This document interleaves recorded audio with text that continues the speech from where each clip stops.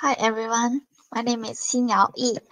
Uh, the topic of my talk today is CUDA Microbench, micro benchmarks to assist CUDA performance programming. Uh, this work has been done together with my colleague David Stokes, and this this work is guided by my advisor, Professor Yonghong Yan from UNCC, and Dr. Chunhua Liao from Lawrence Livermore National Laboratory.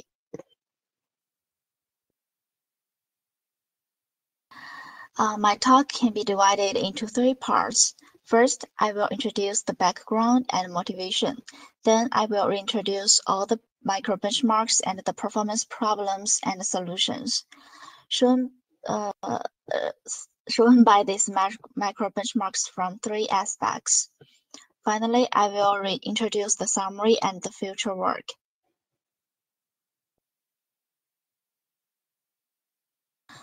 This picture is not unfamiliar to people who have learned CUDA programming. It can reflect the NVIDIA CUDA many-core architecture and discrete memory system of a GPU-accelerated computer system. GPU many-core architecture implements a thread execution model known as the single instruction multiple thread, which is SIMT. The GPU executes the same instructions in lockstep across multiple threads that process different data. The NVIDIA CUDA threading model allows for a large number of threads, and threads are organized in a two-level hierarchy named grid and block.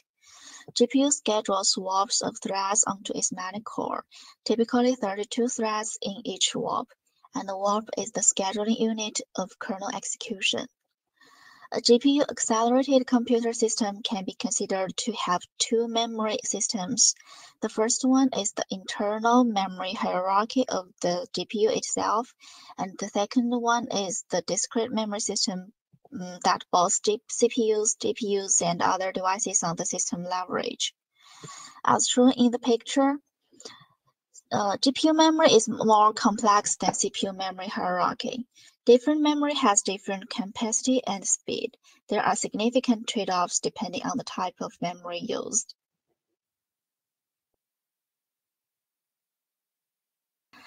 Based on the many-core architecture and the complexity of GPU uh, heterogeneous memory architecture, three guidelines for developing high-performance CUDA programs are important. First, GPU kernels should be optimized to saturate as much as possible the massive parallel capability of GPUs. Second, deep memory hierarchy inside GPU should be effectively leveraged to maximize the computing efficiency of GPU for kernel execution. Third, memory management and data movement between CPU and GPU memory should be properly arranged to reduce the performance impact of data movement operations.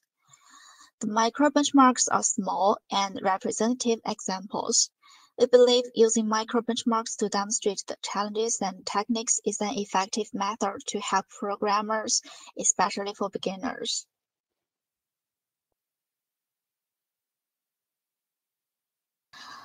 As shown in this table, we developed and collected 14 micro benchmarks referred to CUDA microbench according to the three mentioned guidelines. This table shows the names of the micro benchmarks, the pattern of the performance efficiency, the optimization techniques we used, speed up in our experiments, and programmability. Programmability is used to indicate the difficulty of programming for a given optimization in our opinion, on a scale from 1 to 5, with 5 being most difficult. Next, I will introduce them one by one.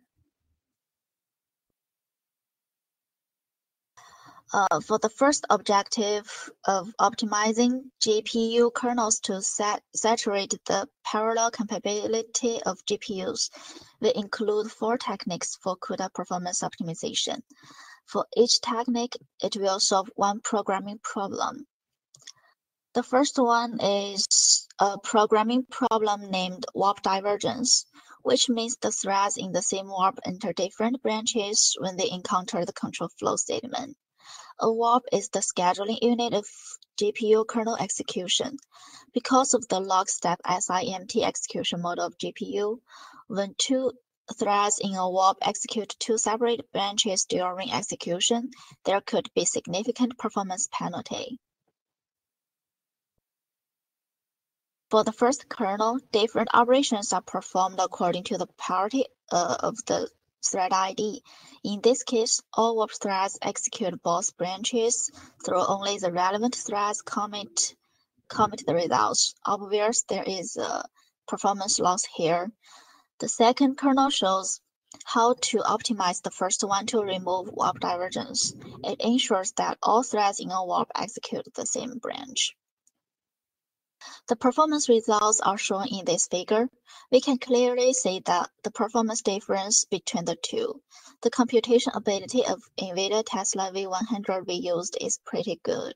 So when the amount of data is not that big, the difference is not obvious.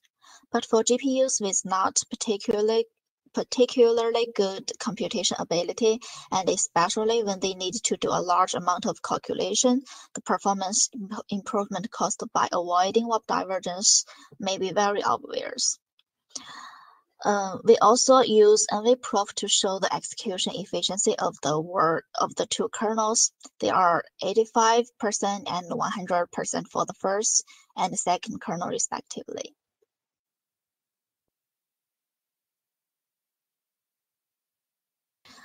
The second one is a technique named dynamic parallelism. It allows the GPU to generate its own work by launching other kernels instead of requiring the kernel jobs to be submitted by the CPU. For any given thread in a block, it can launch its own child block. Workloads that requires the use of nested parallelism, such as those using adaptive grids, particularly benefit from this feature. The pseudocode is a portion of Mariani-Silver algorithm, which recursively subdivides the calculations for the Mandelbrot set. The blue code shown shows how a thread in a kernel calls other kernels. The results show significant improvement of about 3.26 times when using dynamic parallelism over disabling uh, it for rendering a 16,000 times 16,000 image.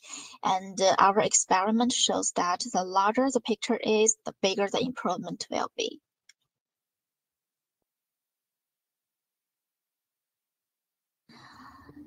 From Fermi architecture, NVIDIA GPUs introduced a feature called concurrent kernels, which enable CPU to launch multiple kernel instances on, a, on the GPU. This feature helps performance improvement for those kernels that are memory bound, because such algorithms usually do not exhibit sufficient parallelism, and allowing executing multiple kernels concurrently would increase utilization of GPU cores.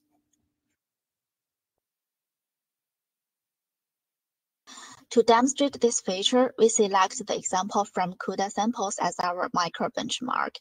In this program, there are multiple uh, uh, asynchronous uh, kernels that are to be launched by a loop, and each kernel is associated with a CUDA stream. As shown in the in the picture, the concurrent execution of those kernels can be visualized using uh, NVIDIA NVVP thread management tool, and the blue part shows the activities of the kernels. When we use eight CPU threads to launch concurrent kernels, uh, the version that uses concurrent kernel execution is approximately seven times faster than the version that uses serial kernel launching.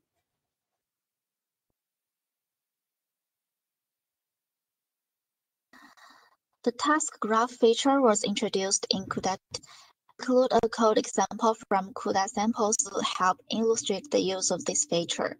This feature allows for a more effective and flexible model for submitting work to the GPU.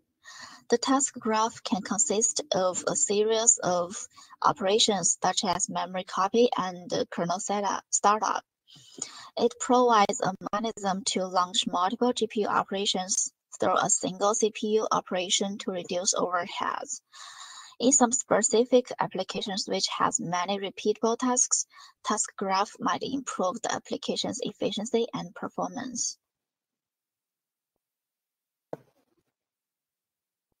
Now I will introduce the micro benchmarks for performance optimization according to the second guideline, which is to effectively leverage the deep memory hierarchy inside GPU.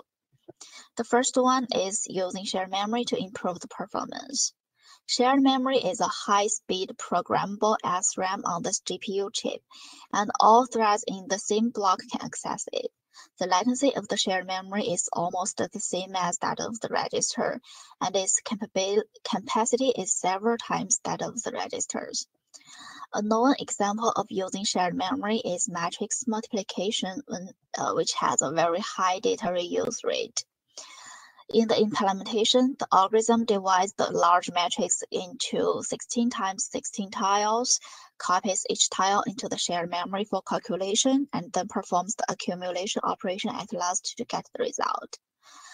For a matrix with a size of 2048 times 2048, compared to the version that only uses global memory, using shared memory can increase performance by 20% and scales well with matrix size on most NVIDIA GPUs.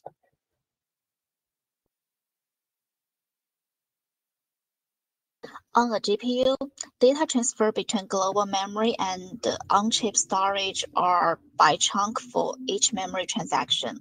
Even only a small subset of a chunk is requested by a thread.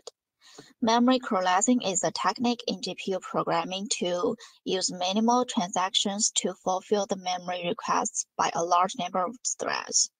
If each thread access 128 bytes of data that is the size of a chunk of a memory transaction, figure A show, uh, shows that each thread access the consecutive bytes of 128 bytes. Thus, the memory requests by all eight uh, threads can be fulfilled by one memory transaction. Figure B shows the situation in which the eight threads access the bytes with 128 bytes thread. Eight memory transactions are needed to transfer all bytes to fulfill only 128 bytes data requested by the threads. Figure C shows random access situation that causes uncorrelated memory access. Eight, adjacent threads need to access uh, memory with unevenly distributed strides. Five memory transactions are needed to transfer the data needed by the threads in this case. For this situation, uh, we include sparse matrix multiplication in CUDA microbench, which can be found in our GitHub repository. Here we just introduce A and B to show the problem.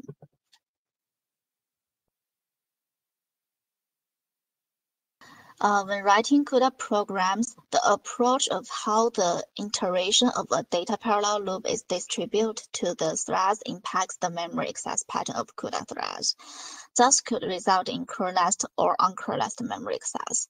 There are two approaches that are commonly used for loop distribution, block and cyclic distributions. The kernel in the yellow region uh, shows the AXPY application, which calculates yi equals to yi plus a times xi. As shown in the kernel in orange region, a block distribution splits the iterations into chunks of continuously uh, iterations among all threads, one thread per chunk. It will end up as uncoalesced memory access by the thread to the array x and y. The kernel in the blue region shows the cyclic distribution which can fix the uncoalesced memory access. Loop iterations are assigned to uh, threads in cycles starting from the first iteration for one iteration per thread. Threads are recycled for the remaining iterations. By doing this, we allow threads to access consecutive elements of the two arrays and coalesced access is achieved. The experimental results in the figure show that using cyclic distribution is about 18 times faster than using block distribution.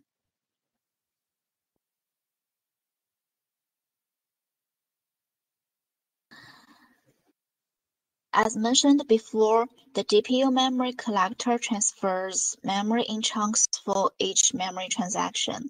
Aligned memory access means that the first memory address uh, accessed is exact multiple of a memory chunk. Aligned and misaligned memory access can be demonstrated by modifying the AXPY uh, example shown here. Mm.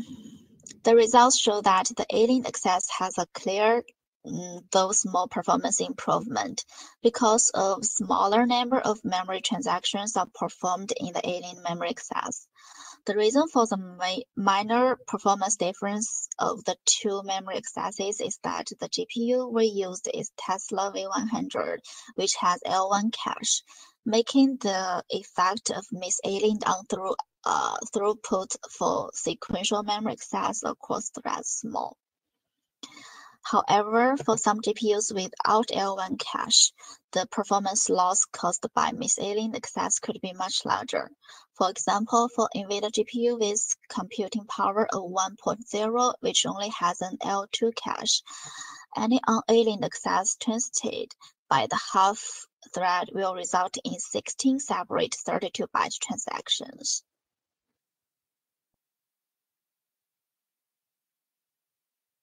Next, I will introduce the overlapping and pipelining data copy between global memory and shared memory using memcopy async function. As we know, before using shared memory, data needs to be copied from slower global memory to the faster shared memory. To accelerate this copy, recent CUDA introduces a synchronous uh, memory copy, the memcopy async function. This feature is realized based on two aspects in NVIDIA's new Ampere architecture. First, the hardware acceleration that bypassing register access. Second, pipeline the memory copy operation to overlap computation and memory operations. This performance improvement is demonstrated in AXPY and the asynchronous kernel is 1.04 times faster. This can be expected to increase as the amount of reads and writes to the shared memory increases, allowing for further scaling. Next, I will introduce Shuffle. Kepler and the new generation GPUs introduce a new warp level intrinsic called the shuffle operation. This feature allows threads in the same warp to exchange data directly between registers by passing the local memory. Before that, the data exchange between threads must go through shared memory. We include a reduction micro benchmark to show the advantages of using Shuffle. Compared with the traditional version, by using Shuffle, threads in the same warp can directly uh, share part of their results between registers as soon as they are free. The experimental results show that uh, as the size of the input array increase, uh, the advantages of using Shuffle become more obvious. Um, the figure shows that when the problem size reaches 134 million, using Shuffle will increase the execution efficiency by about 25%.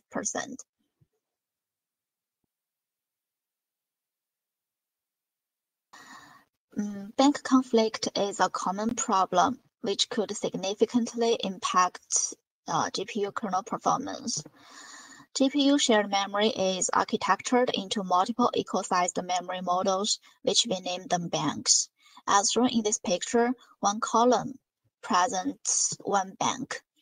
When shared memory is allocated, consecutive data are sequentially mapped to consecutive 32 banks in cyclic distribution, as indicated, as indicated by the black arrows shown here. When different threads in a warp access different locations of the same bank at the same time, access is serialized. Like shown in the picture, thread 0, 1, 2, and 3 access different locations in bank 0. So there, there will have a four-way conflict.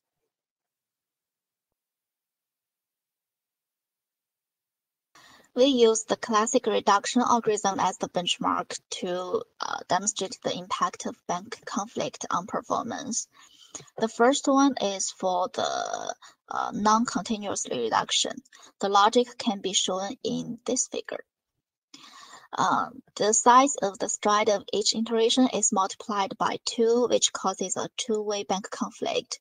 The, in the second iteration, uh, it has a stride of 4, which causes a four-way bank conflict. When the stride size reaches 32, all threads access bank 0 and the accesses are ser serialized, causing lowest memory access efficiency. But when we change this part in the red, red rectangle to this. The second function is for continuously reduction. The logic can be shown in this figure we can think about that the first half and the second half of a matrix are added elements by element. The length of the matrix matrix is reduced by half for each iteration. This method has a one-to-one -one mapping between the thread and the data item, causing no bank conflict. The performance of the uh, thread and the data item sorry, the performance of the two kernels are shown in this figure, and the array size increases, uh, the algorithm's advantages without bank conflict become more and more apparent.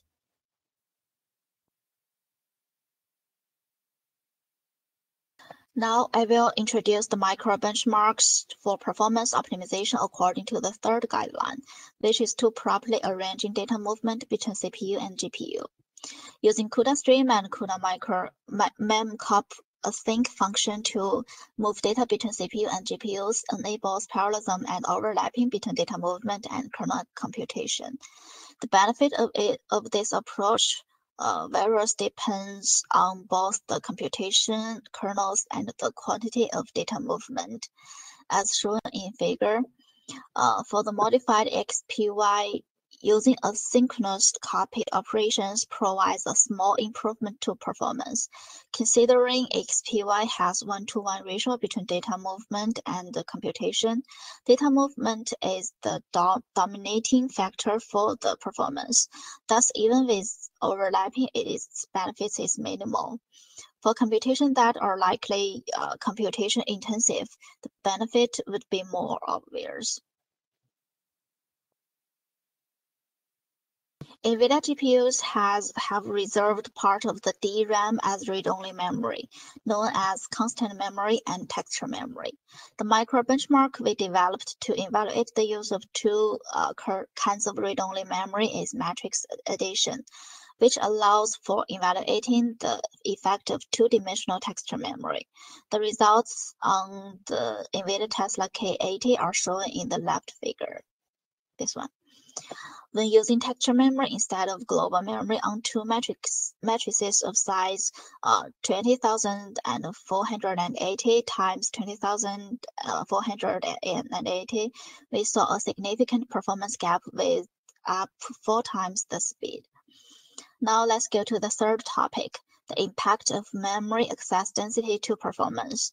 Memory access density refers to the ratio of sizes of the data used for calculation and of the data transferred between CPU and GPU. Ideally, we would like all data transferred are useful for computation, meaning high memory access density. One of the optimized solutions is to use unified memory such that data are copied from CPU memory to GPU memory when they are needed and accessed accessed. GPU unified memory transferred only the necessary pages which contain the necessary data between CPU and GPU during execution. Our benchmark to evaluate the density impact is to use stride to control density for AXPY. The larger of the stride, the lower the access density. The performance result shown in the second figure confirms that when the density is low, which means the stride is high, using unified memory significantly improve the performance.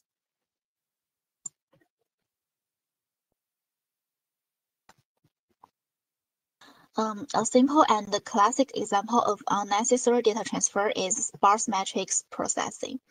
For a known sparse matrix, compressed storage format can be used to reduce the amount of data to be transferred and the amount of computation.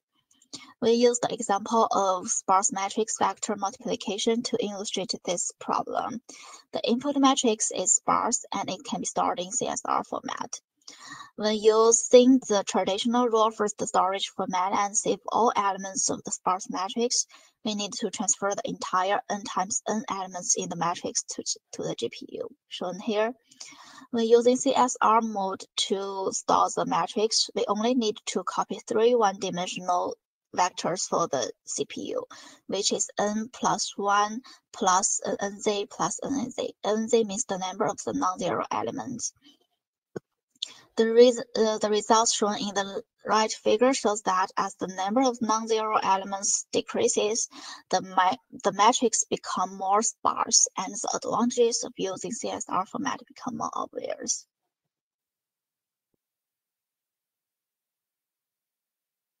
Uh, for the conclusion of, work, of, our work, first, we developed a micro benchmark suite for assisting users to optimize CUDA programs for NVIDIA CPUs.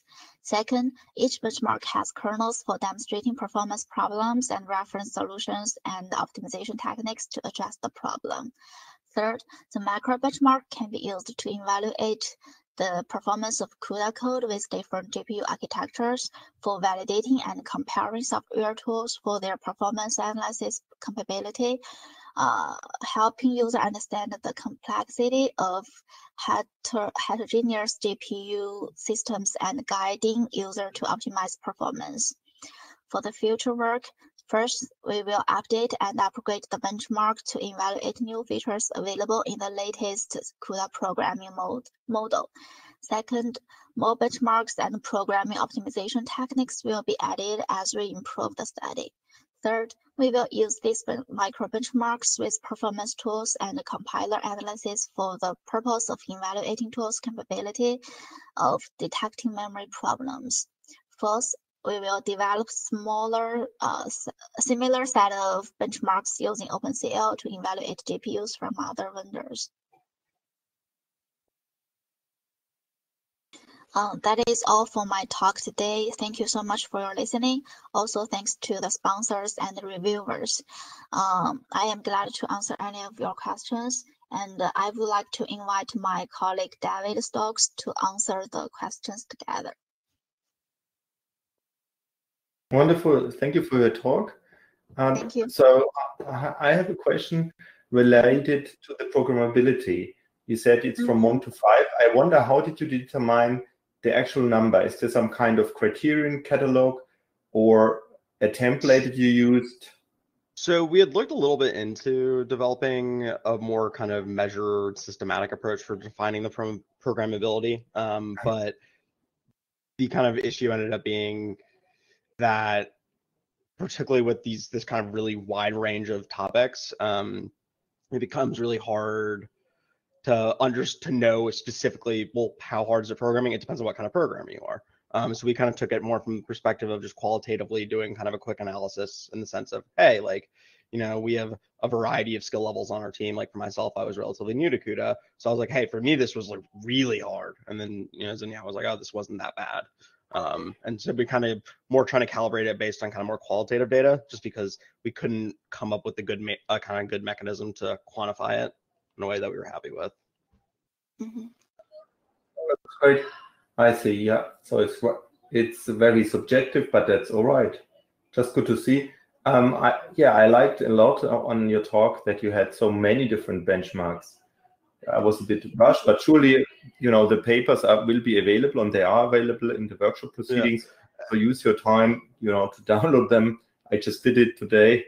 Um, so have a look, and then I'm sure you can approach the respective um, speakers. So one one que- one other question from me is when I see a speed up, such as here this host device overlap benchmark, yeah, which was 1.04 use mm-hmm. CUDA mem copy async function, right? I sometimes wonder, you know, or this one, yeah, this is also good. The global shared memory, you know, in your benchmark, I mean, you saw that it is 4% faster, right? But um, mm-hmm. as a user, I mean, I would say, yeah, maybe that's something you can consider. And given that the, from the programmability side, I agree that this host device overlap thing can be implemented probably quickly. But it seems to be more important to focus here on like this mini transfer where you said um, having the proper data layout that is important. And I think you know sorting these um, optimization strategies uh, would be very ha- helpful for newcomers, as you said, um, and people that try to optimize as a guideline. You know what to look for, or what, yeah. what are your yeah, and I guess I would say as a just I know we're short on time, so I want to make sure we kind of I can get we sort of answer your question. Um, where it ends up being that yeah, we found that we found the value in doing this kind of more broader scoped work was we were able to quick we were able to start to notice the trends of like hey like memcopy async is not something that's going to provide meaningful performance improvement for most programmers so it's not worth right the idea here is that you know for somebody who's more newer to you know CUDA based programming and kind of understanding uh, GPGPUs as a whole right they can kind of quickly look and begin to understand where the bottlenecks in the system where where where do you get a lot of improvement where do you not um, right when where do you get 1.04 when do you get 90 190 yeah, agreed. I mean, I also look forward to see that for different uh, newer models and older models, of course, for GPUs, of course, the ratio may change. But very nice. So um, thanks.